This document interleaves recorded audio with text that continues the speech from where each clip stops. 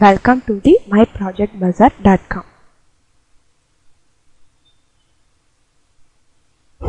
This is our project title Compact DFA Scalable Pattern Matching using Longest Prefix Match Solutions. This is abstract of our project. The pattern matching is the act of checking a given sequence of tokens for the presence of the constants of some pattern. A central component in all contemporary intrusion detection systems is the pattern matching algorithms, which are frequently centered on creating and traversing a deterministic finite automation. It is nothing but defining as a DFA that signifies the pattern. While regular DFA stores separately each transition between two states, we use this degree of freedom and encode states in such a way that all transitions to a specific state are represented by a single prefix that defines a set of current states. Here we are going to perform the pattern matching process by the longest pattern matching solutions. A TCAM scheme can reach a throughput of 10 GB with low power consumption. Our main process is a intrusion detection system. We are going to identify the data transmission in the network. Though this method guarantees deterministic time guarantees modern intrusion detection system need to deal with the hundreds of patterns. The patterns is nothing but the node identification, thus needing to store very large DFAs, which frequently do not fit in fast memory. This outcomes in a major bottleneck on the throughput of the IDS, as well as its power consumption and cost. Here we propose a novel model to compress the DFA by observing that the name used by the common DFA encoding is a meaningless. Here the DFA construction is based on the number of nodes present in the network and based on the data transmission in the network. This is the DFD of our process. Here we load our input. The input contains nothing but the informations of the source node and destination node and some of the process and uh, the data we are going to transmit in the network. After that the input collection we convert that information into the states. The state representation is nothing but in the form of S0, S1, S2, S3 up to the number of informations present in our data set. After the state conversion process, we are going to perform the pattern generation. We are going to generate the patterns using the regular expression. After the pattern generation process, we are going to identify the pattern recognition, whether they are given in input present in the form of the regular expression. After that, we perform the state grouping process. After the state grouping process, we are going to perform the suffix tree construction. The suffix tree construction is nothing but the, we are identifying the some of the informations present in our input data set. Based on the suffix tree construction, we perform the rule encoding process. The rule is nothing but identifying the previous state and the next state and what we are going to perform and encode the rules in a unreadable form. After that, we show the output rules and based on the rules finally we show our compressed DFA results which contain the source state and destination state and what is the next state what how we represent it let us see the demo of our process. Just open the netbeans and the title name compact DFA in the compact DFA we just run the home page. It is a process. Right click the home page.java our home page appears in the home page. We just enter into the process. Here here we are going to load the data set. The data set is nothing but our input data which is transferred in the network. You can able to choose any data set. These are all the informations present in our data set. Next. Here we select the formatted data which is our input data. So we select the process.txt and it is the length of the data set. Then we are going to perform the state generation process. Generated successfully. The state representation is nothing but in the form of S0, S1, S2 up to the how much information is present in our data set. Then, these are the state representation of our input data set. Then next, this is a tree construction. The root node is the first state and the siblings are the remaining states.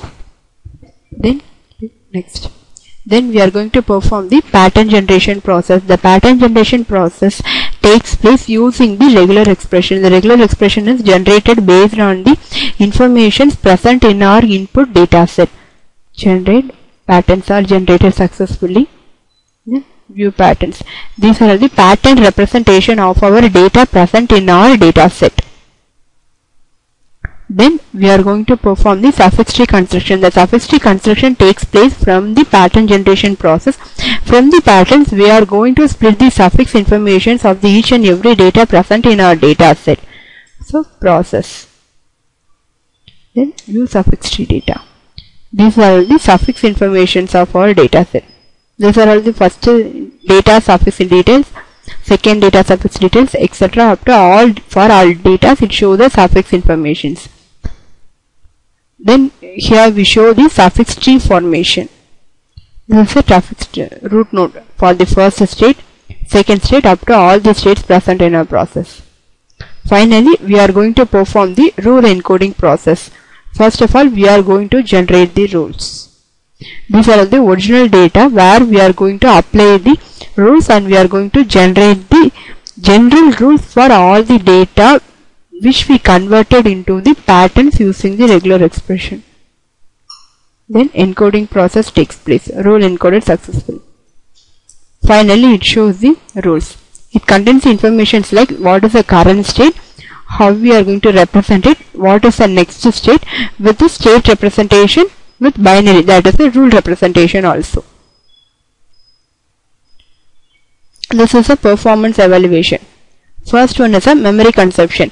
Here we perform the DFA that is a compressed DFA. In this uh, in the existing approach they use the AGNFA. In the NFA process it contains more memory to store all the informations which travel in the network. But in our process in the DFA process it contains less memory to store all the informations which travel in the network. First. Then execution time. The execution time is evaluated based on the length of the pattern. In the existing system, if the length of the pattern is increased, the execution time also get increased. But in the proposed approach, not like that. If the length of the pattern get increased, the execution time is reduced compared to the existing system. We check the results in our network also. For that, we just right click the user information and run. In this, should enter the sender ID, sender IP, then select the sender data and store the information. Then click next. Here we are going to convert our data which is going to transfer in the network into a patterns and it is a generated pattern. Then here we are going to enter the port number. Then trigger then we should separately run the client.java.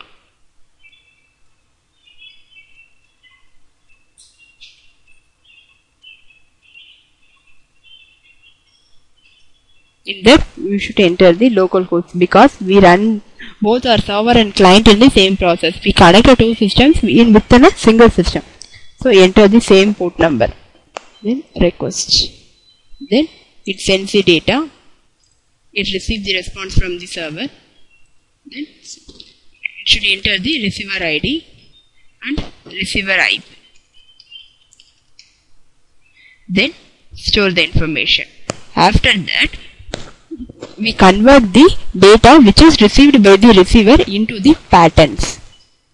The pattern information after this pattern generation, we are going to check during the transmission in the network whether any loss in the data or any modification or any data corruption in data. Further, we perform the pattern matching process. The pattern matching process, the original data is received. There is no modification in it. So finally, the graph is shown. The execution time.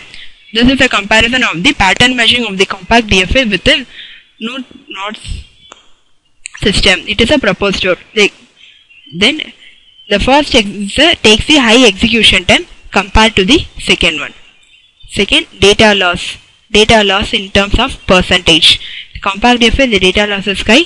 In North Morse DFA, the data loss is less. Thank you.